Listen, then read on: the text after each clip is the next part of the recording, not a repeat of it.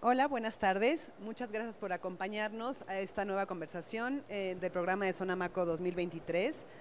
Eh, esta conversación es presentada por Zona Maco Sur, cuya curadora es Luisa Tejera de Freitas, y nos acompañan María Lucía Alemán, que es la directora ejecutiva del, eh, del MAC Panamá, está Catarina Duncan, curadora de Solar dos Abacaxis de Río de Janeiro, Marta Mestre, curadora y directora artística del Centro Internacional de Artes José de Guimaraes de Portugal, y Lucía San Román, directora del Laboratorio de Arte Alameda de Ciudad de México. Les cedo la palabra, muchas gracias por estar acá. Hola a todos. Sí. Yo muy, muy feliz y honrada de estar aquí una, una segunda vez. Año pasado tuvimos una, una, charla muy buena y aquí sigo con estas cuatro mujeres fantásticas, cada una de una parte diferente. Eh, para, yo no sé si hay, hay, hay, alguien en público que no hable castellano, prefieren que, las, que hablemos en inglés. Anyone wants us to speak English instead of Spanish? No? Ok, entonces va a ser portuñol de algunas de nosotras, pero estamos aquí para, para conversar sobre el desarrollo de, de, los programas de estas cuatro mujeres, de sus museos, espacios, instituciones, eh, que se pueden tener un poco, no sé, quizás un poco mm, complejo decir que son todos descentralizados, porque algunos, algunos son factores centrales, pero lo que quiere decir ser descentralizado. Y, también la importancia de, de, del femenino, de ser mujer, del feminismo en estas instituciones. También porque este es el concepto que tenemos este año en zona en sur. Uh, yo, yo iba a presentarlas una a una, pero no, uh, Eloisa ya lo hice, de dónde vienen las cuatro.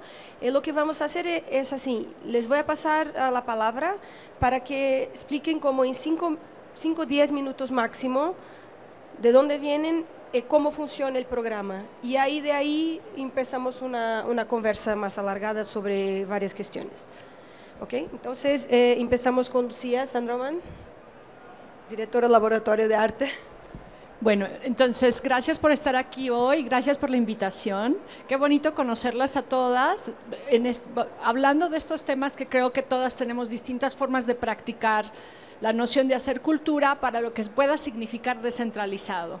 Yo trabajo para el Laboratorio Arte Alameda, es un museo en la Ciudad de México, es decir, no está descentralizado, precisamente, pero está descentralizado de la noción de, varias distintas nociones posibles de arte contemporáneo.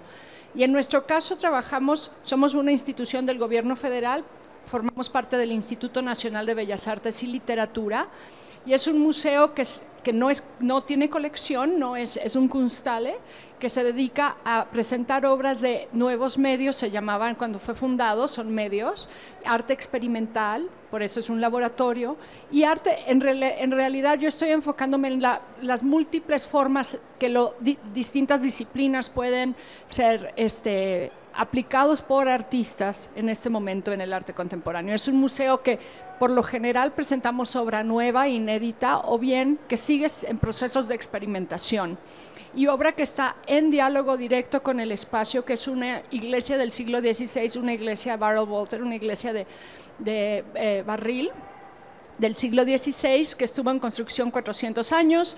Entonces, es una de las fundamentales complejidades del espacio es que hacemos obra de, de medios digitales, proyecciones, etcétera, en un museo que tiene paredes de de este ancho. Es decir, el Internet es un problema. Entonces vivimos una contradicción constante en términos instalativos de cómo logramos que un museo del gobierno federal, es decir, que tiene presupuestos acotados, un museo que está en, el centro de la Ciudad de México, eh, es decir, que tiene nuestros públicos reales, nuestro público diario, son los paseantes de la Alameda Central. Y hacer que este museo sí esté en la vanguardia, que es un término muy old fashion, ya no lo usamos, esté en la orilla de la experimentación. Cuando yo llegué a trabajar al laboratorio en 2019 con este gobierno, porque a veces las instituciones mexicanas cambian de dirección con los gobiernos, eh, fue para mí una gran oportunidad. Yo soy una curadora que viene de prácticas sociales feministas. Eh, trabajando mucho en contextos de, la frontera mexicana y en contextos en Estados Unidos. A pesar de que soy mexicana, mi carrera se formó en los Estados Unidos, en Canadá, en estos espacios entre. Entonces, esta noción de ser trans, transborderiza, de, estar en los espacios entre, me hace pensar en esta, en esta institución de arte contemporáneo desde una perspectiva igual de aquello que es híbrido, de aquello que está tocando distintas capacidades, distintos intereses nos hemos enfocado mucho en hacer un museo vulnerable. ¿Qué significa esto? Que está permeado por las distintas energías de nuestros públicos diversos, que también se pueden ser constituyentes. ¿Se apagó? Ah, no. Que se pueden hacer constituyentes del programa a través de metodologías de trabajo profundo. También pensamos en públicos mucho más rápidos de entrada por salida. Entonces, nos guían en nuestras decisiones curatoriales, nuestras decisiones de programa, esta noción de vulnerabilidad, que para mí es importante y que se cruzó y fue influenciada por la pandemia, porque apenas estamos saliendo de la pandemia, una pandemia global, que van a recordar en 100 años esta pandemia, ¿no? Que cambió el mundo. Entonces, ¿qué significa pensar a la institución desde la vulnerabilidad? Significa que nuestros programas están intentando hablar con personas que se identifican como feministas, que se identifican como desde ser parte de un pueblo originario, que se, identifican desde la variedad y posibilidades diversas de que, que ser mexicano contemporáneo, ¿no? Yo no concibo mis programas para un para un es, un proyecto de arte contemporáneo, pero que sin embargo no está tan interesado en nociones de arte contemporáneo, de, ferias internacionales y demás, por dos razones. Por un lado, por práctica, es práctico, es decir, no es nuestro público real. Y por otro lado, por razones ya francamente relacionadas con lo que significa ser una práctica feminista para mí, que es de verdad tratar de hacer un proyecto inclusivo, inclusivo y que no sea solo mi voz, la que defina el programa. Entonces, lo concibo por años. El primer año era básicamente reeducarnos a trabajar juntos en equipo, todo. Es un museo que tiene eh, personal de tres distintos niveles de contratación, inclusive eh, sindicatos. Entonces, hay que pensar a la institución también en ese sentido. Segundo año fue pensar en públicos, transformar a públicos y audiencias en participantes, usuarios y co-creadores de programa. Y este año ya las cosas van fluyendo. Por fin, ya, ya vamos llegando. Entonces ya como que funciona mucho más sencillamente, las decisiones sí son más colectivas, porque los primeros dos años yo decidía todo, yo les dije, yo decido todo al equipo para que nos acostumbremos a, pensar como uno, porque soy disciplinada, porque soy mi parte canadiense.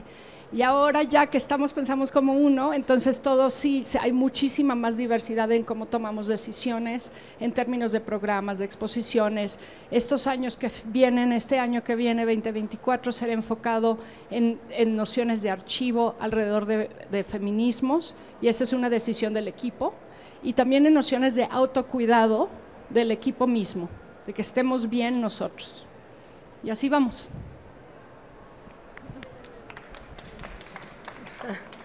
Gracias. Ya vuelvo a ti, como con cuestiones. Pero voy a pasar a Catarina Duncan, que es brasileña de Río de Janeiro y Er, eres curadora independiente, pero le pedí que hablase más específicamente del proyecto donde es directora artística, curadora jefe, que es lo Solar de dos, dos no voy a hablar esto en Solar dos Abacaxis, no Rio de Janeiro. Gracias Luisa, gracias por invitarme, por estar aquí con ustedes todos, gracias a todos que están aquí también. bueno, Solar es un proyecto muy particular eh, no nos llamamos museo, tampoco somos un centro cultural, tampoco instituto, tampoco un colectivo, pero un poco de todos esos. Eh, es un proyecto que empieza en 2015 con cuatro amigos que ocupaban una casa que estaba abandonada en Río, una casa muy grande eh, del siglo XVIII y que, bueno, en el medio de la mata en Río, y empezamos invitando artistas a hacer en proyectos totalmente autónomos, no teníamos presupuesto, no teníamos ninguna estructura, hacíamos fiestas, la gente llegaba y, y, bueno, eso cambió la escena cultural de Río de una manera muy fuerte, porque trabajábamos tanto con artistas súper jóvenes que no tuvieran antes oportunidades de presentar sus trabajos, cuanto con artistas ya con una carrera más desarrollada, pero que no tenían tanta libertad de, de experimentación en otras instituciones. Entonces empezamos en este contexto, que es súper distinto de un contexto institucional más arraigado. Y yo desde siempre colaboré, pero no estaba en este núcleo inicial. Eh, desde entonces, en 2018, yo hice mi primera exposición allá, porque además siempre invitaban curadores próximos para hacer en proyectos. Eh, y lo inventábamos todo, lo inventábamos la manera de tener la plata para realizar, las maneras de existir. Y lo problema es que esta casa no tenía luz, no tenía agua, no tenía estructura ninguna. Entonces nuestras exhibiciones tendrían que ser súper efémeras. Y nuestra lucha era un poco pensar cómo hacemos para hacer un proyecto pertinente, pero que podamos sostener entonces hacíamos exhibiciones a veces con 30, 40 artistas y que duraban 24 horas. Y para durar 24 horas hacíamos fiesta. Entonces a veces venían 3.000 personas, eh, que es más que muchas galerías en dos meses de exhibición. Eh, pero duraban solo este tiempo en este formato que crearon, que era el manjar, así lo llamamos. Y bueno, lo que pasó en el medio, yo me junté al equipo más oficialmente en 2019, cuando empezamos a formalizar el instituto. Abrimos, bueno, ahora somos formalmente un instituto sin fines lucrativos y que tenemos un estatuto, un consejo, un consejo curatorial, un consejo institucional y bueno, otras maneras de buscar la sustentabilidad de la institución. También trabajamos con becas del gobierno, entonces se cambió mucho, el tiempo pasó también. Eh, ahora los eventos empiezan un poco más temprano, terminan más temprano también, no es toda la noche. Pero eh, yo me junté en 2019, en la pandemia en 2020, vendieron esta casa con la cual trabajábamos y nos quedamos nómades y fue una libertación también, porque todo lo que tendríamos, tendríamos que arreglar el techo porque llovió o podar los árboles o no sabíamos qué hacer y no lográbamos el programa en este sentido.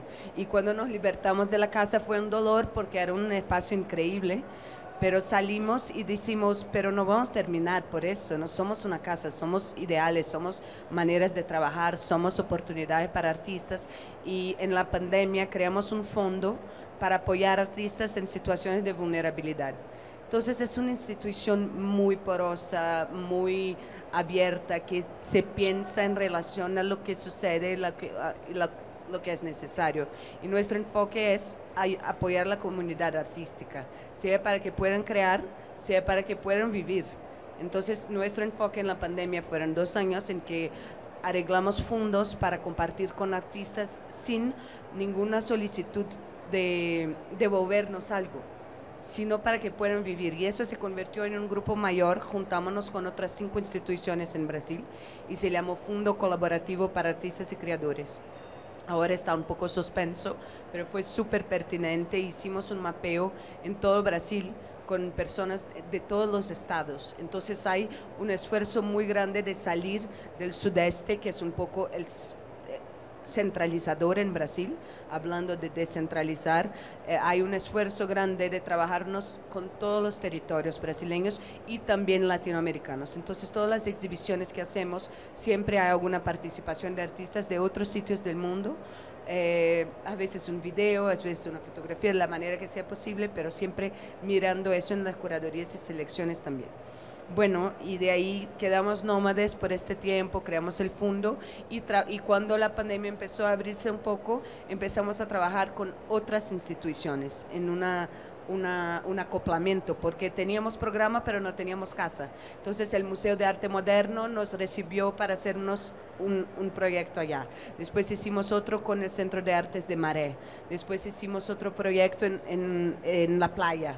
Eh, ocupando el espacio público de la ciudad también. Entonces este periodo nómade fue muy, bueno, inspirador y en diciembre del año pasado adentramos una nueva sede, que es un edificio de tres ah, pisos, eh, tiene mil metros cuadrados y está ubicado en el centro. Entonces tenemos ahora para los próximos siete años una perspectiva de, de, una estructura que nunca tuvimos. Entonces este año vamos a abrir un programa de residencia, llamadas abiertas, tendremos exhibiciones de mayor largo, de largo plazo que no tienen que durar 24 horas más. Entonces estamos ahí, tenemos un programa anual que tiene como base las fiestas populares es algo muy específico, pero hacemos, empezamos nuestro programa en febrero, justo ahora sábado va a haber el programa del carnaval, entonces empezamos con el carnaval, después hacemos la fiesta junina, que es una fiesta tradicional popular también,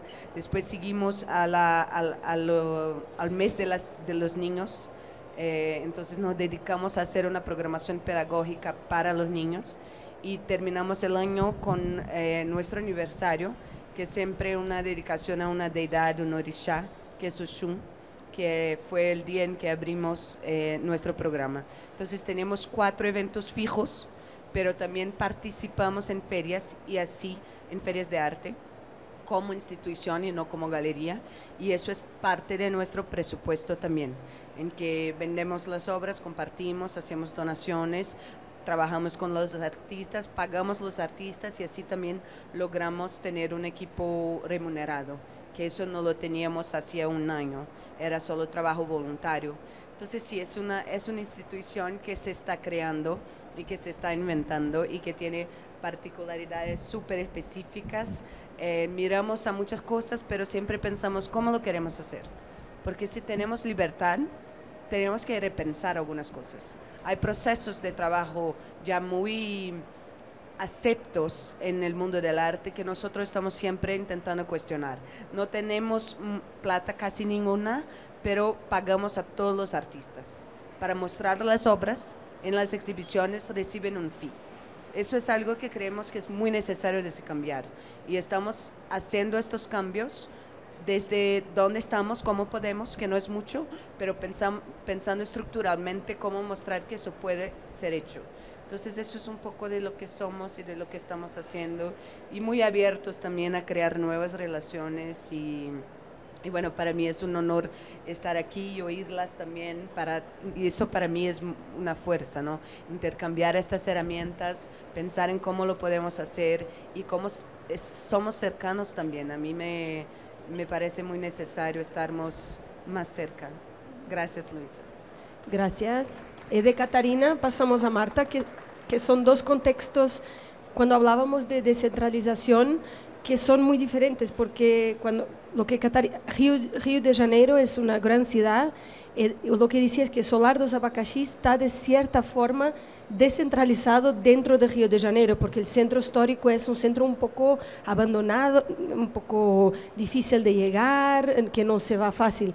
Marta, al, al, revés, eh, está en Portugal, eh, una mujer muy corajosa, porque se, uh, hace dos, años se cambió para esta ciudad que se llama Guimarães, que es una ciudad, pero es una ciudad leja, leja al norte, para un museo que se llama, eu, eu sempre, é muito grande o nome, Centro Internacional das Artes José de Guimarães, pero é muito é uma surpresa porque se chega a esta cidade alejada e é um verdadeiro centro de artes com uma programação, é um museu dentro, o museu é quase maior que a cidade. e passa a Marta. Hola, muchas gracias a todos, a todas. Eh, gracias Luisa y para mí es muy bonito de estar aquí porque esta cartografía, geografía que tiene tantas, tantos puntos de vista, en cierta medida es un espejo de Luisa porque es esta circulación también de, de como curadora, como pesquisadora de arte contemporáneo. Eh, gusté mucho de escuchar a María Lucia sobre esta especie de antinomía entre feminismo y arte contemporáneo. Y me acuerdo muy bien de las fiestas de Solar de Abacaxi en Río de Janeiro, fiestas míticas, muy bonitas, muy, sabes, muy, muy abiertas. Pues yo soy de Portugal, uh, uh, pero viví muchos años en Brasil y mi tránsito es un poco este tránsito atlántico, vamos a decir. Eh, Yo trabajo en una pequeña ciudad al norte de Portugal y lo que es interesante es que en esta ciudad es un poco lo nacimiento de la idea de país. O sea, Portugal empezó en esta ciudad. Toda la mitología, toda la narrativa de la origen, que de una manera es muy aburrida, eh, está encenada constantemente en esta ciudad. Y lo museo tiene la particularidad Mm, de, tener una colección, una colección de artista, pues no es una colección museal, no es una colección, digamos, científica, es una colección de artista, o sea, es a partir de un punto de vista muy particular, es una mirada, vamos a decir, primitivista, lo que significa la colección es eh, de objetos de arte africano, precolombiano, imagínate, y, ah, y chino. Esta pequeña colección es en una manera una, una idea de otro, pero una idea que intentamos toda, en toda la programación eh, desfragmentar, ¿sabes? Cuando llegué al museo, yo creo que cuando uno llega a un museo, a un espacio, un espacio independiente, debe pensar qué tipo de narrativa, qué tipo de discurso quiere crear. O sea, cómo puedes cambiar un poco lo que tienes y para mí era muy importante de convocar un concepto de polifonía, de polifonía, no sé si se dice así, de multiplicidad, de, de contranarrativa, ¿sabes? Para intentar desbloquear esa idea de origen de país. Pues nosotros somos un país muy pequeñito, pero como sabes, hicimos la colonización de, de toda la parte de las Américas de Bajo, lo Brasil, y mucho más. Y eso obviamente hoy se coloca de una manera que la propia sociedad portuguesa está empezando a pensarlo. No es muy, hace 10 años ah, nadie pensaba en eso y ahora yo creo que es un momento muy importante. Entonces nuestro programa es con arte contemporáneo intentar invitar artistas que nos pueden ayudar a, crear otro tipo de miradas, miradas más inclusivas, miradas menos centralizadas, miradas un poco más polifónicas, como decía. Creo que trabajamos mucho con este tipo de conceptos. Eh, pues e, es un gran challenge de trabajar en un sitio, un lugar tan chiquito y intentar de hacer todo tipo de mediaciones con los públicos. Creo que vamos a hablar un poquito después de eso. Ah, a mí me interesa mucho de un punto de vista historiográfico. soy historiadora de arte de formación. Entonces la idea de cómo construyes, cómo, cómo planteas la manera de los museos se presentar, para mí es muy importante. Em, y pues creo que me voy a quedar aquí y después volvemos al, y seguimos. Y ahora a María Lucía Alemán. María, María Lucía, que es ah, directora ejecutiva del MAC Panamá, eh, que nos va a presentar. Es, la, es, es interesante, es la única que tiene en su ejecutiva.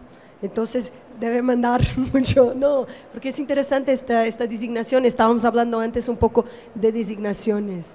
Vuelvo después a eso, pero... Bueno, buenas tardes. Muy contenta. Gracias Luisa por la invitación y quiero compartirles sobre el Museo de Arte Contemporáneo de Panamá. El museo es un proyecto que tiene 60 años eh, y es un proyecto que surge por una necesidad, un vacío que había en el país, pues no habían espacios donde mostrar arte, ni tener conciertos, ni obras de teatro, ni tertulias literarias, ni cine. Entonces, curiosamente, un grupo de individuos se unen y fundan el Instituto Panameño de Arte en 1962 y poco a poco, digamos que se va complementando la escena cultural y se queda especializándose eh, el Instituto Panameño de Arte en mostrar las artes visuales. Entonces, digamos que es un proyecto de mucha persistencia porque es una fundación privada sin ánimos de lucro, no tiene una fuente estable de financiación, pero bueno, ha persistido 60 años pese a eso y cumpliendo un rol muy importante porque tampoco hay eh, otros espacios, digamos, con esa función tan clara de difusión y de apoyo del arte contemporáneo en el país. Em, tenemos cuatro grandes pilares principalmente, que son el programa expositivo, el programa para públicos, el programa educativo y nuestra colección. Em, el museo viene abriéndose eh, desde hace varios años. Yo tengo ya, voy para mi octavo año con la institución en distintos roles, como directora dos años y medio, facilitadora, ese es el título que a mí me gusta, si lo pudiera escoger, pero bueno. Em, y llegué a un momento, precisamente en pandemia, luego de haber hecho otros roles dentro de la institución, a entender de una manera muy consciente cuál era el rol que el museo podía jugar dentro de la comunidad panameña para realmente contribuir. Y creo que sin saberlo empezó un proceso eh, muy, muy descentralizado en el sentido de mirar y escuchar a la comunidad panameña, pero no solamente la comunidad artística, sino entender otros eh, campos de conocimiento, comunidades, eh, agrupaciones, instituciones que eran importantísimos para el bienestar de la comunidad y la sociedad panameña. Em, Panamá es un país que es, pequeño, pero es importante en la región centroamericana por distintas razones, es un centro bancario em, y se conformó a través de miles de migrantes que llegaron en distintos momentos de su historia, por la fiebre de oro, por la construcción del ferrocarril, luego por el canal. Entonces siempre ha sido un país de puentes, de vincular, de unir. Y eso hay que tomarlo en cuenta para entender este contexto en el cual, el, el museo opera o funciona y qué rol puede jugar en esa descentralización cuando a la vez hay una amalgama de culturas, de etnias, Así que entendiendo esto en pandemia, nos dimos cuenta que eran, habían dos o tres líneas muy claras de trabajo. Una era pues la deficiencia que ya venía teniendo Panamá en el ámbito educativo.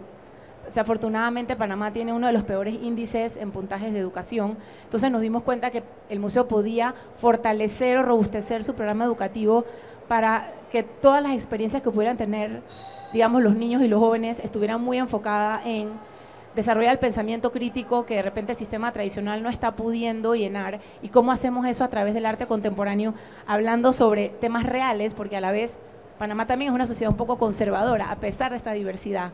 Entonces, cómo hay muchos temas que no estamos hablando, pero que están ocurriendo y que el museo también puede ser un lugar para intercambiar todas estas realidades de una manera muy abierta y segura. Luego también identificamos que otro, otro punto importante era que estas comunidades se sintieran que eran parte de este discurso, de esta narrativa, y cómo nos volvíamos, em, más creamos más alianzas y colaboraciones para que cuando distintas personas vinieran al museo sintieran sus culturas o sus realidades representadas dentro del programa expositivo, educativo o eh, programa para públicos a través de estas charlas y conversatorios. Y el último, eh, creo que lo puedo resumir de esta manera, es, era cómo abríamos más espacios y entender qué tipo de espacios se necesitaban abrir. Había un déficit en ese momento de espacios físicos, porque en la pandemia cerraron muchos, muchos centros culturales, eh, no, solamente artísticos, pero teatros, espacios de danza. Entonces, empezamos a ver cómo algunas áreas del museo las podríamos maximizar y abrir nuevos espacios. En ese sentido, creamos uno donde estaba la colección, que se llamaba La Boda y continúa llamándose así, y lo volvimos un espacio, digamos, alternativo o complementario de la agenda expositiva, que originalmente pensamos abrirlo a colectivos o artistas emergentes, pero tomó un giro muy lindo, inesperado, que es que se empezaron a acercar agrupaciones fuera del ámbito artístico, como por ejemplo Jóvenes Unidos por la Educación, como por ejemplo grupos de las comunidades de las etnias negras en Panamá, y cómo la comunidad no artística empezó a querer trabajar con la comunidad artística para hablar y visibilizar sus temas. Entonces eso ha sido la verdad súper bonito ver cómo estamos trayendo también a otras personas que no necesariamente piensan o ven a través del arte, pero que les interesa y ven el arte como una herramienta poderosa para mostrarse, visibilizarse, dialogar y compartir con otros públicos. Así que creo que ahí paro también y, bueno, Luisa, te cedo la palabra para la parte de, de discusiones entre todas. Sí. Hay, una, gracias, muchas gracias. Yo tengo así tres o cuatro temas, preguntas eh, generales que pienso que podemos desenvolver, estar aquí más unas cuatro o cinco horas hablando.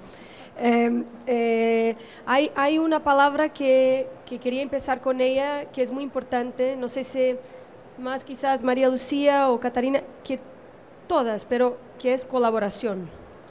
Uh, lo que, eh, que- yo estoy escogiendo una otra para que las preguntas se...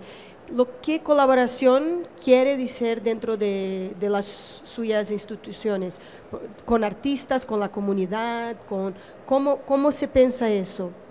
Claro que es una pregunta para todas, pero de todo que, que escuché, esta es la, la- la pregunta fundamental.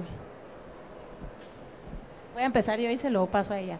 En nuestro caso empezamos a hacer unas sesiones de escucha y consulta eh, mixtas. Invitábamos a profesores, académicos, líderes, eh, activistas y em, preguntábamos qué está pasando en sus comunidades y cómo el museo puede ser un espacio para abrir esas conversaciones. Em, digamos que paralelamente a eso, también dentro del equipo, cómo traíamos esa diversidad al equipo para descentralizar también, digamos, la estructura organizacional y que hubiera más libertades dentro del equipo para traer esta agenda, digamos, y no imponer una agenda. Claro que hay una misión que viene de la misma institución, de la directiva, eh, de la dirección ejecutiva también, pero para mí era muy importante empezar esta descentralización desde el mismo equipo, desde adentro, y, y que ellos fueran parte, muchas veces ellos también ya pertenecen a estas otras agrupaciones o tienen vínculos muy estrechos. Así que en ese sentido ha sido como muy natural y muy orgánico esas colaboraciones, esas alianzas. Y bueno, por supuesto también había que hacer un trabajo importante de reconciliación con la comunidad artística, porque por muchos años hemos sido, digamos, el único museo de arte contemporáneo, quizás el único museo de arte del país de alguna manera. Entonces, hay muchas, dentro del ecosistema artístico necesitamos llenar muchos vacíos y muchos artistas pues tienen muchas expectativas del museo que no podemos cumplirlas todas. Entonces también había que hacer un trabajo de reconciliación con la comunidad artística y de alguna manera volver a hacer esas colaboraciones que se habían ido perdiendo o nuevas que nunca se habían hecho. Bueno, creo que hay colaboración, creo que en cualquier proyecto, trabajo, institución, eh, tenemos una, una manía un poco de, mm, individualizar los proyectos. ¿No? El mundo del arte tiene mucho eso, ¿no? la figura del artista único, solo, que hace este trabajo, pero no es así. Eh, siempre todo lo que es hecho es hecho por muchas manos. Y eso es algo que necesitamos percibir y, y reconciliarnos también con esta idea de desindividualizar los proyectos. Entonces, en Solar lo que pasa es que tenemos roles específicos. Yo soy curadora jefe, pero yo hago de todo.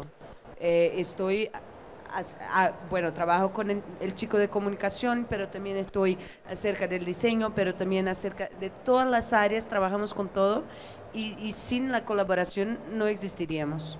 Necesitamos de todo un ecosistema, necesitamos de las galerías que nos apoyan muchas veces, sea con un transporte, sea con un, apoyo de comunicación. Necesitamos las ferias que abren los espacios para que podamos estar ahí, difundir nuestro trabajo y sostenernos también de alguna manera. Necesitamos de apoyadores, tenemos un ciclo de, de 60 eh, personas que nos dan donaciones direct- directas y eso nos sostiene también. Entonces es un, un quebracabezas de mucha gente que hace con que nuestro trabajo sea posible. Y, y eso se pasa en cualquier tamaño de institución. Si miras las mayores instituciones de Brasil, de México, de donde sea, eh, el Metropolitan, el MoMA, eh, es hecho de mucha gente. Eh, tanto la gente que está trabajando adentro del museo, tanto los que apoyan, tanto los que... Entonces, esas son maneras de percibirnos y percibir que estamos en relación y que lo que hacemos no hacemos solo. Entonces, para mí es súper importante. En Solar hicimos una práctica que desde una ex- exhibición que hicimos hace unos dos o tres años, empezamos a poner en las etiquetas, como en las leyendas de las obras, de las exhibiciones, quién las hice. Entonces, si un artista trabajó con un ceramista, este ceramista va a tener su nombre ahí. Si un artista trabajó con una persona que hace el mármol, el nombre de esta persona va a estar ahí. En nuestros créditos hay el nombre de la persona de la limpieza hasta el director ejecutivo. Entonces eso es una práctica cotidiana también que tenemos que hacerlo visible, ¿no? Eso, eso que, si pasa, pasa a ti, que ahora quiero hacerte a ti una pregunta, pero eh, porque eso, ya estás hablando de dos otros temas que yo quería hablar, lo, lo de, lo de, de las estructuras financieras, que no es para ti, no te preocupes. No, porque, no, pero eh, hablas de un nuevo modelo, Catarina, de museo, de una nueva forma de pensar museo. Esto que hablabas de poner el nombre de la otra persona que trabajó, eh, estas nuevas formas de pensar. Eh, tú, Lucía, también hablabas de casi, cuando hablabas me parecía casi que estaba escuchando la crítica institucional de los años 70, cómo pensar este espacio, este museo, estas colaboraciones, eh, cómo, cómo, estructurar estas mudanzas, eh, cómo mm, esta idea preconcebida del museo, porque tu programa tiene este experimentalismo, este, entonces, er, ¿es un museo o no es un museo? ¿Dónde, dónde se encaja tu, programa? ¿Cómo pensar fuera? Si tenemos que acabar con algunas palabras. Bueno, a mí me parece la, gran ventaja de estar en un lugar que se llama Laboratorio Arte Alameda es que no tengo que preocuparme por esa nomenclatura. No, no, es algo que realmente afecta la forma en que concebimos el espacio. Nos ayuda a pensar que somos un museo en el sentido de que estamos formando parte del sistema de, financiación del gobierno federal y somos literal, literal, parte de los 18 museos de la red del Museo Simbal. Pero de cierta forma eh, lo más complejo no es que seamos percibidos o no como museos. Lo más complejo en términos de crear una diversidad de aproximaciones al arte, de una diversidad de, aproximaciones a diversos públicos, lo más complejo en este sentido, en, este lugar en particular, es la noción del laboratorio. Entonces, cuando yo llegué, era un museo que tenía muy buena percepción en términos críticos en términos de la circulación de arte y tecnología, arte y ciencia en toda Latinoamérica, aún en Europa, había ganado muchos premios de este tipo y no entraba casi nadie al museo. E, es un museo que es difícil entrar, es una iglesia oscura con video, arte y sonidos y ruidos y cosas, ¿no? Entonces, parte de nuestro trabajo ha sido que este espacio se sienta muchísimo más, eh, que, que dé una mejor bienvenida. Eh, no solamente en términos de crear exposiciones que sean legibles, que tengan textos legibles, sino también en, el, sentido de que las personas que constituyen los programas educativos sientan que esos programas son de ellas y ellos y ellas, no, no, no una enunciación jerárquica institucional. Y ya dentro de eso, eso ya empieza a mover la identidad del museo. En realidad a mí no me importa tanto si nos llamamos museo o no lo que me importa es que en este momento, por ejemplo, tenemos una exposición de una artista española y de varias otras curadoras que se llama Amor Rojo, donde planteamos una posibilidad de entender el amor desde, del amor desde una perspectiva radicalmente transfeminista. Y eso no es tan sencillo hacer ni aquí ni en China.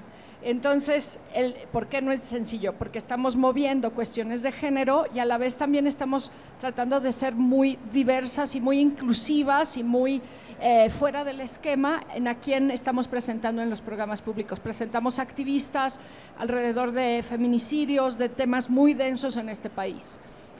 Nuestra mirada viene del arte, pero siempre busca salir de ese esquema, de muchas formas. No, porque solo, y así una pregunta que, también otra para ti, pero para ti, sobre los públicos, porque con eso estás incentivando nuevos públicos, ¿qué públicos quieres? Y también las, los, los, desafíos de, los públicos, ¿para quién? Uh, ¿cómo, ¿Cómo traer las personas? Sí, voy un poquito más atrás porque mencionaste los años 70 y los 80, pero los 70 son años laboratorio, yo creo. Años muy importantes para, entender, para, comprender la idea de la institución. Una institución que sea más radical en cierta medida. ¿no? Eh, me acuerdo de las ideas de museografía radical de Chile, de, de Brasil. Entonces creo que muchas de las luchas, muchos de los conceptos que hoy estamos utilizando de feminismo, de, inclusión, de, de raza, ya están en los años 70 y la institución tiene ahí un papel, un, un, trabajo muy importante. Eh, esto es solo para contextualizar un poco porque en cierta medida cuando trabajamos en una institución también estamos siempre eh, dialogando con otras instituciones que conocemos, ¿no? que nos inspiran. Y para mí la manera como, así, la manera como Brasil em, pensó las instituciones en los 70 es también muy interesante, la idea de un museo de sociedad, ¿no? Cómo, cómo creas em, vecinos tuyos, ¿no? Cómo tus vecinos pueden eh, habitar el museo. La primera cosa que eh, hice cuando, cuando entré en este museo fue abrir las ventanas. Tenía unas ventanas muy cerradas y las ventanas son por la plaza, ¿no? Tienes una grande plaza eh, cerca del museo, pues. Y mm, yo creo que quiero llegar a la plaza, ¿no? Estamos en un camino que es llegar allá. Y hablabas de públicos y esta idea de públicos también empezó en los 70 a pensarlos, ¿no? En los años 70. Hay um, un escritor muy interesante, creo que chileno, ahora no me acuerdo, que eh, catalogaba los públicos por animales. Pues tienes las borboletas, tienes los, los que avanzan y recuan, tienes los que miran todo y eso es interesante para, para pensar que público es una idea abstracta en cierta medida. Es muy, muy diverso, muy distinto, ¿sabes? Nuestra estrategia en Portugal, porque es una ciudad pequeña, es trabajar con un público específico ahora. Trabajamos por etapas. Y uh, para nosotros, lo público de la Universidad de, Guimarães, la universidad de esta ciudad, una uh, universidad de arquitectura, pero también de bellas artes y de tecnología, es nuestro público alvo ahora. No es tanto la comunidad artística, yo creo que es necesario salir un poco de esa idea de comunidad artística e intentamos hacer Uh, hablábamos de pontes, de abismos, ¿te recuerdas de...? Esa es mi última pregunta, Sorry. Marta. Pero uh, solo para decir que pues tienes que ir por etapas cuando trabajas en lugares tan... Uh, con contextos tan difíciles, con presupuestos pequeños y, y una, algo que también, algo que intenté hacer en el museo y, y, creo que es importante es crear una cierta transparencia financiera, o sea, toda la gente sabe con, que, con cuánto trabajamos para generar una idea de comunidad, de consenso a través de transparencia. También es algo, es un museo público que depende totalmente eh, de lo ayuntamiento, entonces eso es un, un, challenge muy, muy grande para nosotros. Yo no sé, hay dos cosas, pero quizás... Eh, no, no, no, eh, ¿quieres decir algo? No, aquí, como hablaste de, de, financiero, hablemos un poco de estructuras financieras, porque es importante, y explicaste un poco cómo funciona la tuya. Eh, no sé si Catarina quiere desenvolver un poco más, porque si nos hablaste de las fiestas, no, pero una cosa, una cosa sorprendente, un poco, uh, no quiero decir triste, pero que a mí yo, yo quedé un poco desiludida. Por ejemplo, es que hicieron una exposición en, ¿cuándo fue la última? Diciembre. En diciembre. Y yo llegué en diciembre y ya no estaba la exposición. Eh, me fui a, fui a ver un espacio vacío. Y fue una sorpresa muy grande, porque pero Catarina, ¿dónde está la exposición? Y me dice, no, tenía, duró dos días. No, estas fueron cuatro días, sí. Cuatro días. Eh, anyway. Tú sí, explica, es fuerte porque es un, un, gran esfuerzo, ¿no? Eh, poner una exposición y todo eso, pero todavía no tenemos las condiciones de mantenerla por la, largo plazo. Entonces hacemos las exhibiciones. Eh, eh, Cristina, que está ahí, estuvo en la última. Y, pero lo que pasa es que no tenemos condiciones de mantener el equipamiento por más de una semana, la seguridad, la limpieza, todas las cosas que eh, envuelven abrir una, una, casa al público, ¿no? Abrir un espacio público. Hacemos lo que podemos, pero todavía aún nos falta. Y sí, es como les decía, es un quebracabeza la manera como nos organizamos financieramente, porque tenemos, eh, hacemos dos ferias por año la Espe Arte y la Arte Río, que son una feria en São Paulo, una feria en Río, eh, hacemos como institución, no como galería.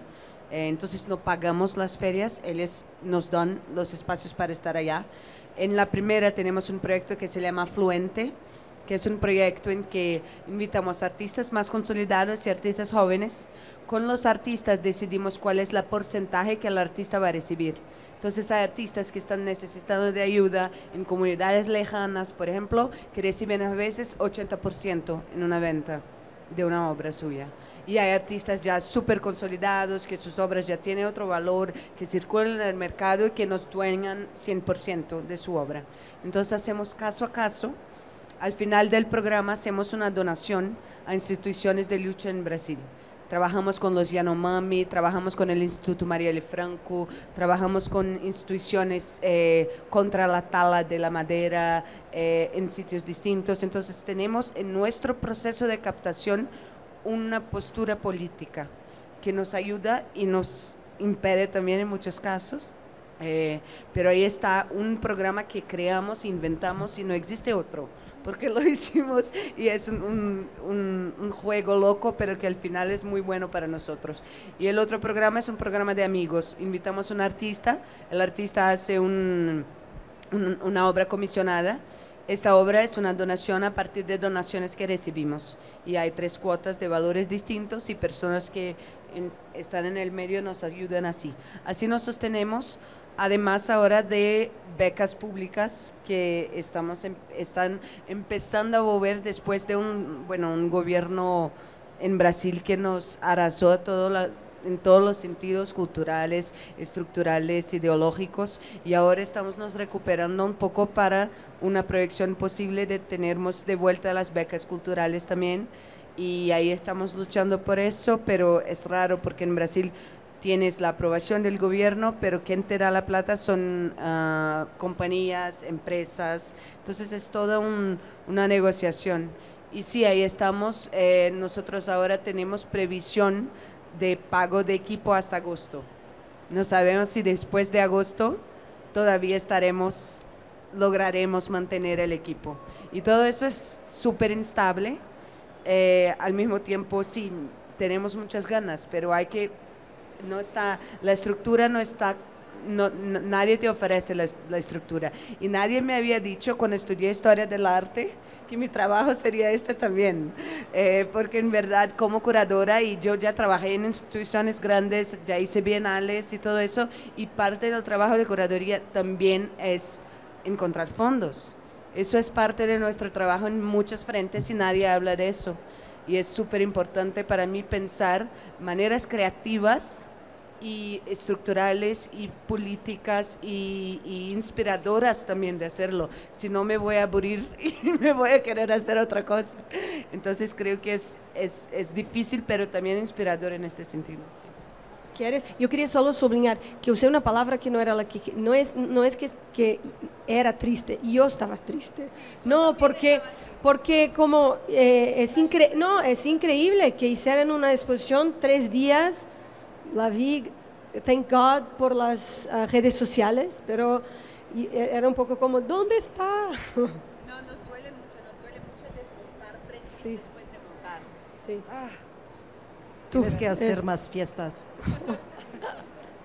Bueno, yo, yo quería usar la palabra de Catarina de, de inestabilidad un poco y, y, explicar que sí, que el, pues el ámbito cultural en algunos de nuestros países eh, puedo hablar por Panamá y creo que Centroamérica y Latinoamérica, eh, es, muy retador porque a veces no hay la constancia o las políticas de Estado o las empresas también ven otras necesidades más urgentes dentro de un país. Entonces, eh, traer a esas personas, mostrar el impacto que el museo tiene en la comunidad o en el país es, es, es una de las herramientas más poderosas para lograr influir y seguir trayendo más donantes.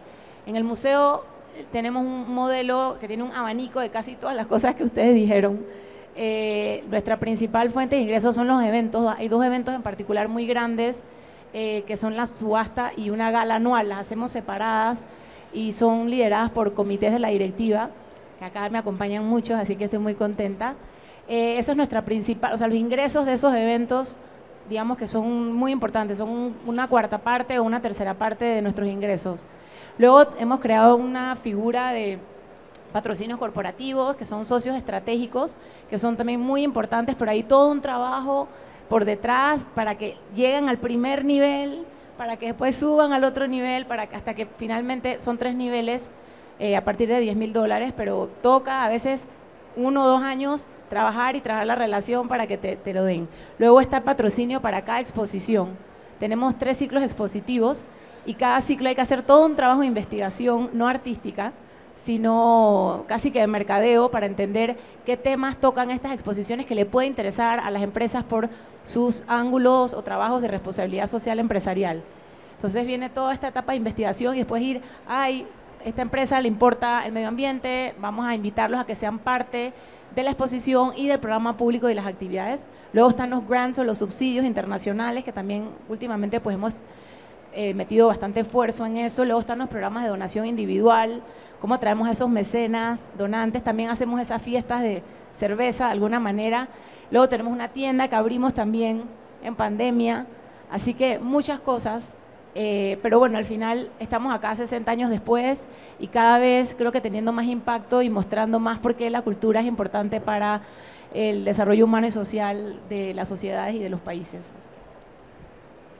Yo voy a, tenemos más 10 minutos y después abro para algunas preguntas, pero hay aquí, voy a hablar de cuatro cosas. Eh, vosotras, quien, es, es, muy fuerte esto, ¿no? De que hablas de 60 años, ella no sabe si estará abierta en seis meses. No, no, lo sé, lo sé, lo sé, pero la, la efemeridad. No, eh, una cosa muy bonita de sentir, que no está aquí, pero lo sentí ahora, es la, es la humildad.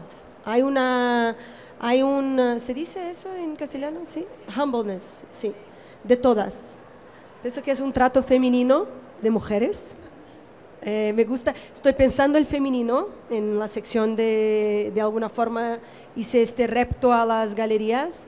Y quería hablar de eso, de humildad, de construcción conjunta, de la mujer, de ser mujer en nuestras instituciones. Y de ahí puedes hablar de puentes y abismos, de eh, los desafíos. Quería escuchar una última palabra sobre estos temas de las cuatro, no muy largo, porque y así para que las personas puedan hacer preguntas también. Eh, uh, Adelante. Escuchándote, Luisa, yo creo que um, hablabas de humildad, de todo. Yo creo que cuando, uh, cuando quieres hablar de un lugar de lo femenino, vamos a decir así, o de crear estructuras más inclusivas, la idea de una autoría curatorial debe retirarse un poco, ¿sabes? Esta idea de autoridad, aut autoría viene de autoritas, de lo latín, ¿no? Eh, debe retirarse de escena, no tanto por no, por no crear nada, no, no es esa idea, pero de intentar que otras maneras de hacerlo puedan, puedan tener lugar. Hablaba de esta idea de polifonía, ¿no? Y pues es una respuesta muy directa a lo que preguntabas, de retirarse curatorialmente. Eh, tiene un artista que a mí me gusta mucho, estoy ahora preparando una exposición de él, alguien que eh, pensó lo tercero mundo de una manera muy, muy fuerte, Artur Barrio, un artista brasileño, y Artur dice siempre que lo curador es una necesidad desnecesaria, que no es necesaria, ¿sabes? él uh, joga, joga, un poco con, este, con esta idea. Entonces, para mí es importante de, como decías, por ejemplo, lo, los textos de wall texts, los textos de la pared, tiene que ser leídos por mucha gente, ¿sabes? No puede tener esta idea de, de vocabulario curatorial que mm, nadie entiende, ¿no? Dispositivo y después eh, giro de colonial. Pues, fricciones, pues tenemos que, que, crear traducciones, traducciones. It's about translation in a way, you know? Pues. Sí, sí, eh, cuando hablaba, cuando hablaba de humildad también para que entiendan es, es que lo que sentí en todos los discursos es una necesidad no de hacer todo, pero de hacer una una cosa bien hecha. Uno que tú hablabas de tu equipo, o Marta que hablaba un público, ¿sabes? Catarina más, sí, todos de una, y eso para mí es, porque hay estas cosas en los museos que quieren todo. Eh, estos, estos museos eh, centralizados, los comités, todas las colecciones, Comité de Medio Oriente, Comité de Asia, Comité de Latinoamérica, es imposible, es imposible. Bueno, en mi caso, yo, como he trabajado en museos americanos, varias partes de mi carrera las he hecho específica en ese tipo de museo, un museo que se asume como a sí mismo, como el, el espacio donde se construye el buen gusto, para empezar, y donde se construye lo contemporáneo desde el buen gusto, ¿no? Entonces tengo una mani tengo de verdad una crítica muy profunda a esa noción y tengo una crítica muy profunda a eso asociado a estas cuotas de diversidad o a ser, ser participativos o sociales. He trabajado en muchas instituciones en las que eso se utiliza de verdad solamente para hacer fundraising, pero no está sucediendo no está sucediendo en la institución. Entonces, lo que hice ahora que tenía esta oportunidad de regresar a mi país, yo soy mexicana, pero soy muy clara en, cómo me, localizo a mí misma dentro de un contexto extremadamente racista, extremadamente clasista este es un, y extremadamente misógeno. Entonces, una forma que yo tengo para establecer esa mirada constantemente que no solamente me autocuestiono, sino que trato de ponerme en un espacio de mucha permeabilidad a mí misma y desbajarle el tono a mis, a mis deseos de, de hacerlo todo. Lo que decías es poner metas muy precisas. Y en esas metas precisas siempre tiene que estar de fondo una cosa muy básica, que el equipo no esté infeliz. El equipo de los museos siempre está infeliz. Esa ha sido mi experiencia. Hay muchísimas malas prácticas laborales en museos. Entonces, empiezo por ahí. Luego, segundo es tratar de trabajar con artistas o no artistas que tampoco queden infelices. En ese sentido, tenemos una cierta transparencia, bueno, mucha transparencia somos del gobierno, pero es un reto cuando tienes una reducción presupuestal fundamental, etcétera. Entonces es una cosa como entre ser institucional, que yo estoy entrenada como una curadora institucional a la americana, pero siempre tratar de traer esto al espacio de la intimidad, tratarnos con afecto. La verdad así lo pienso. Sí, eso me parece muy inspirador. Hay algo que, que se imanta, ¿no? Si tienes un equipo que está, que está relajada, que se siente bien, que trabaja bien, eh, que se divierte en el proceso de construcción de un trabajo, cuando el público llega, lo siente. Si llegas a una bienal que el equipo curatorial peleó por dos años, vas a sentir eso ahí, ¿no? Entonces creo que eso pasa y me, yo intento un poco no acercar tanto eso a la idea de que por sermos directoras o curadoras mujeres el afecto está más envolvido, porque estamos, hay de todo, somos lo que queramos ser y a veces somos muy malas también y, y, trabajamos con otros procesos, entonces yo intento no ponerlo en este, en este rol tan directo, pero, pero sí me parece mucho importante. Nosotros en la pandemia, por ejemplo, eh, todavía el equipo no estaba muy bien remunerada, pero tuvimos una persona en el equipo que tenía problemas emocionales muy fuertes y pagamos su terapia por dos años como práctica institucional. Hay una persona en nuestro equipo que está necesitando ayuda, no tiene las posibilidades financieras de tenerla y la institución va a hacerlo y lo hicimos y fue súper bueno y eh, es súper bueno agradecida por lo que hicimos porque pudo continuar y todavía trabajamos juntas. Entonces creo que a veces tener esta mirada y es lo que les decía, no, no sé si otras instituciones hacen eso. Eh, pero estamos inventando nuestro camino y eso nos, nos pareció correcto y necesario. Entonces ahí vamos construyendo. Bueno, yo veo el museo como un lugar de unificar, de preservar memoria, cultura, saberes, intercambiar, dialogar. Creo que para allá se está yendo de una manera muy orgánica lo que todas estamos haciendo y muchas otras instituciones o museos están haciendo. Y creo que son cualidades que se han asociado por muchos años con lo femenino. Así que la verdad es que creo que sí, no, no siento que es algo intencional, pero pero cada vez más los museos se abren, tratan de incluir, tratan de conciliar, tratan de cuidar, de preservar. Y pues sí, eh, son cualidades muy femeninas también, aunque algunos hombres también las tienen. sí, para, voy a abrir ahora para el público, pero sí, quería solo decir que, que, es, una, es una cuestión muy, muy difícil de los tiempos de hoy, muy contemporánea. Eh, siento esto en todas las entrevistas que doy para, para, para Zona Macosur, que tienen que ver con estas cajas, con este, este, porque nos piden los temas, las temáticas, los, los vamos a hablar de qué, las cotas, lo, eh, ok, voy a hablar de femenino, año pasado hablábamos de naturaleza, de tecnología, de supernatural, no, y después, pero después, o como el, el, sur, ¿no? Mi, mi sección se llama sur, ¿qué quiere decir el sur? Entonces abrí para el Global South, pero lo que es el Global South, eh, porque yo no, yo no estoy en Global South, yo estoy al norte, porque yo puedo hablar de Global es muy, todo es muy, esto de las cajas, de, de las categorías es todo muy complejo.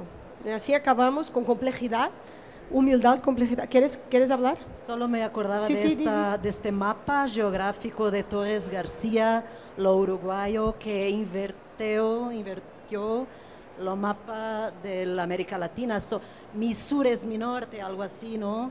Y creo que es interesante esta idea de invertir la perspectiva y invertir, imaginar otras cartografías, ¿no? La cartografía que era algo tan colonial para ¿no? dominar y creo que es necesario borrar esa idea de cartografía también, pues.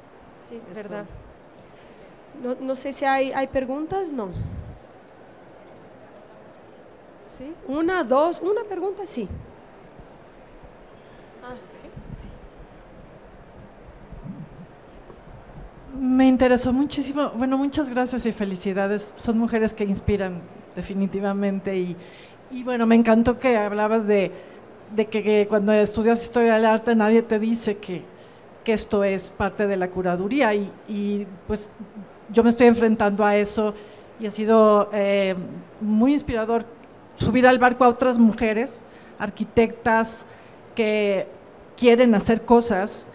Y bueno, muchas gracias por sus, eh, todos sus, eh, eh, compartir lo que han vivido, pero me interesó mucho en particular el concepto de autoría curatorial. ¿Cómo propondrías tú esa polifonía de la que hablabas? yo lo que he descubierto en este poquito tiempo que llevo haciendo esto es que yo no puedo hablar de que yo lo hago porque no es cierto, ¿no? O sea, somos, un equipo para lograr eh, eh, estas iniciativas y abrir espacios y siempre hay mucha gente. Entonces me interesó, pero ¿por dónde va esa propuesta de cancelar o trascender lo de la autoría curatorial? Ah, yo decía sobre esta idea de los textos, pues la, lo vocabulario de una exposición debe ser un vocabulario eh, sencillo en una medida y esto yo creo que, que ya permite eh, no te afirmar es como una autora o un autor, ¿no? Intentar es crear una, una, manera de comunicar las exposiciones mucho más, eh, menos ideológica tal vez. Cuando, cuando hablaba de la idea de retirarse curatorialmente de escena e intentar crear una política de construcción colectiva de una exposición, pues abrir una manera, una, una especie de curaduría compartida, eh, una curaduría hecha por varias manos, por ejemplo, eh, manos que pueden ser también las de la equipo. María eh, Lucía hablaba mucho de la equipo y yo creo que mucho tiempo de nuestros días se pasa con la equipo internamente. ¿Por qué no traer la equipa también para la construcción de la narrativa de la exposición? Sus puntos de vista, cómo elegir las obras, ¿sabes? ¿Cómo las, las uh, eleges? Eh, creo que es un poco por ahí, desconstruyendo una idea de museal muy, de, de, de la construcción del gusto. El gusto es, también muy ideológico. Entonces, ¿cómo ir para, para las bordas, ¿no? para las fronteras de eso? Eh, es un ejercicio, eh, un ejercicio que creo que debe ser practicado porque la institución se reinventa cotidianamente, ¿no? Ella no está, como se dice, dada. Ella está en construcción, ella es un espacio de negociación permanente, con muchas fricciones, muchas, eh, muchas contradicciones también, ¿no? Eh, pero era un poco por ahí, intentar hacer una idea de curaduría compartida con varios eh, ángulos de la sociedad, ¿no? de internos y externos.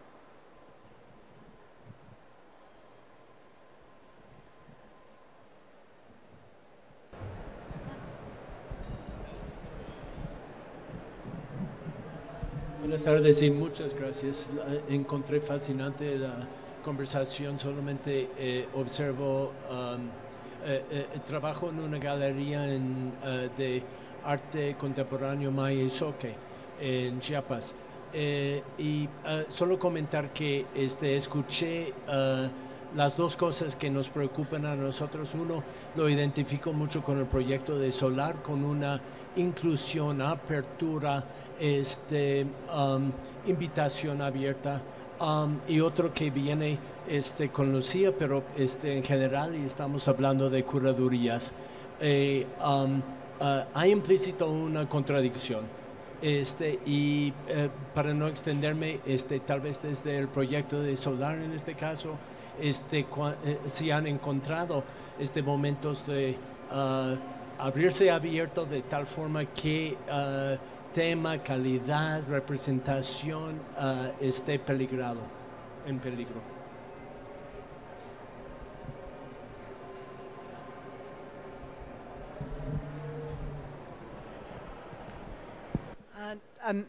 para mí es el contrario, ¿no? Cuanto más diverso, cuanto más multiplicidad tenemos, eh, mejor está todos los proyectos, ¿no? Para mí es, hay un poco toda este, esta temática, ¿no? De las, de, bueno, de ampliar la diversidad de los proyectos, de tener esta mirada territorial, eh, de clase, de raza, de género, eh, y eso para mí es para que todo sea mejor. Porque en verdad si hay diversidad, si hay polifonía, si hay distintas miradas, el proyecto va a ser más rico. Entonces no es algo que limita, no me siento presa porque tengo que eh, ser políticamente correcta en este sentido, pero lo contrario, los proyectos eh, catapultan de fuerza, eh, de, de pertinencia también, porque eso deja de hacer sentido solo para una parte de la sociedad y eso se amplía para que otras personas se sientan parte de algo que es históricamente exclusivo. Entonces, para mí, este proceso es un proceso de inclusión, es un proceso también de, de democratizar acceso. Y y eso me parece un punto crucial y que todas nosotras creo que pensamos en eso de muchas maneras y hay que tener políticas activas para eso. Y nosotros, por ejemplo, hace un rato empezamos, yo más personalmente, casi todas las exhibiciones que hago, eh, traigo artistas que, no, eh, que son nomeados a veces artesanos, por ejemplo. Esta separación a mí no me interesa nada y, estoy todo el tiempo intentando mirar qué línea es esa que nos separa, que dice que hasta aquí es algo y desde aquí es otra cosa. ¿Y quién puso esta línea? ¿Y a quién interesa ella? Entonces, borrar todas estas líneas es un poco salir de las cajas, de las clasificaciones y hacer con que todo sea más amplio, más polifonio, más diverso y mejor. Por eso. Quería agregar algo. Yo, una de las satisfacciones más grandes que creo que todas tenemos me atrevo a hablar por todas, porque lo que hemos estado hablando y discutiendo anteriormente también es, es saber que lo que hacemos conecta o es relevante para la mayor cantidad de personas.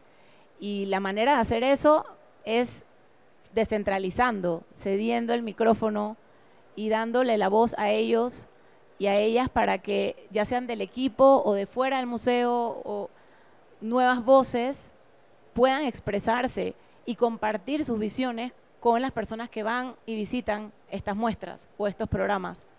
Solo quería agregar eso.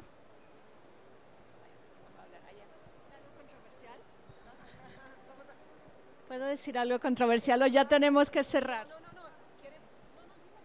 No, porque a lo mejor ya nos pasamos de tiempo. ¿Sí? ¿Podemos? Ok.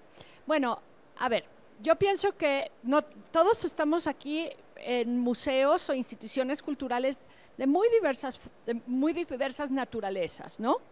Entonces, a mí me cuesta trabajo hablar de forma general de estos temas. Yo diría que en algunos casos se está buscando hacer una reconstrucción de la institución misma.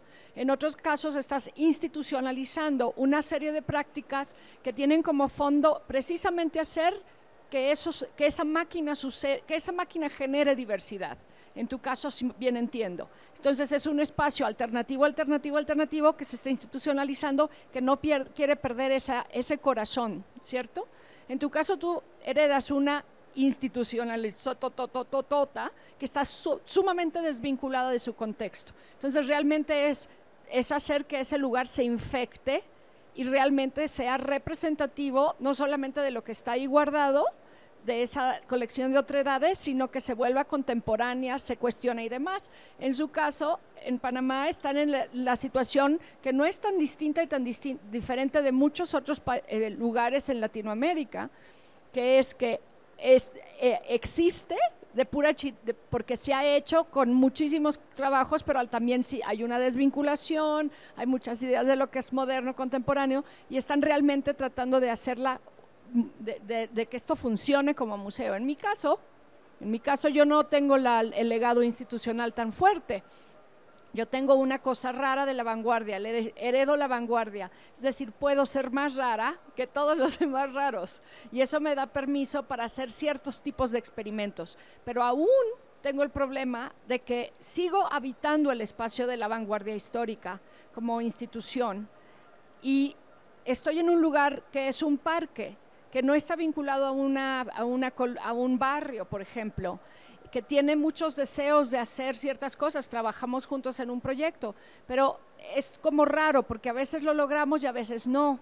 Nuestra comunidad más real son los muchachos de servicio social de las universidades, no de, de las grandes universidades mexicanas, sino de clase media, clase media baja en México, que están siendo parte del programa. Entonces, de verdad siempre trato de acotar, acotar, acotar, porque no creo que nos convenga no ser realistas en cómo nos autodescribimos y esa es la forma en que la humildad y esta, este problema que decía John, que es cuando abres tanto que ya no existen parámetros, sí puede suceder, sí puede suceder, pero pues buscamos formas de que no suceda y tenemos distintas funciones.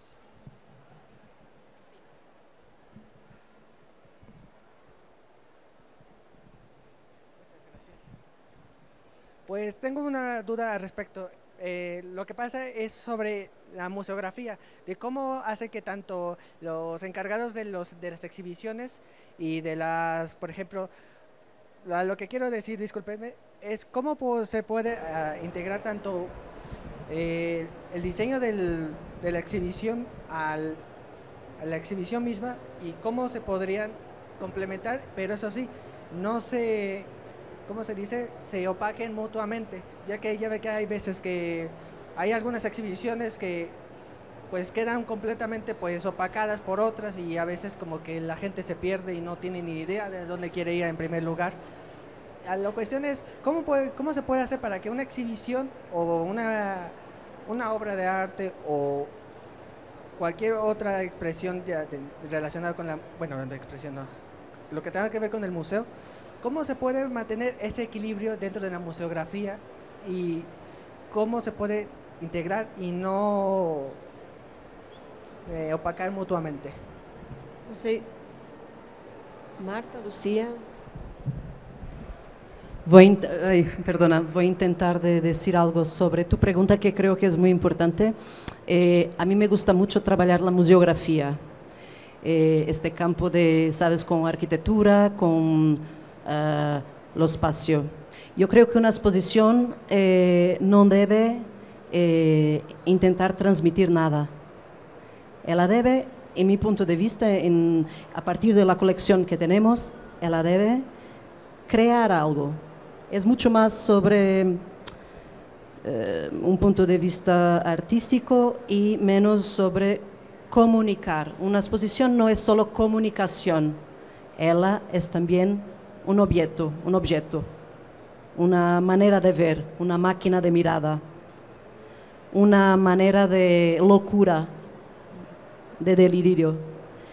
Entonces pienso siempre mucho en esta idea de maquinaria para pensar una exposición. Para nosotros, como tenemos tantas perspectivas distintas en la colección, pues de tantos pueblos y tradiciones históricas distintas, lo lineal no es algo que seguimos, ¿no? Intentamos hacer una museografía, una spografía más idea de labiríntica en cierta medida, pensando un tiempo más espiraldado, más espiral y menos como una línea. ¿Y cómo hacerlo? Eh, yo creo que, que, cuando, cuando, cuando piensas lo espacio, me, me viene a la cabeza uh, seguramente la idea de danza, de danzar en el espacio. Puede parecer un poquito loco, pero yo creo que una visita debe ser una danza. Y debes tener un punto más, sabes, más épico, después algo más pequeño. Tu mirada debe caminar en todos los sentidos, en no solo un punto de vista. Debes uh, intentar de hacer la mirada danzar. A veces puede ser un poco rock and roll, a veces un poco más clásica, pero es esa, ese ritmo. Un baile. A veces a dos, otras veces solo, de un punto de vista solitario.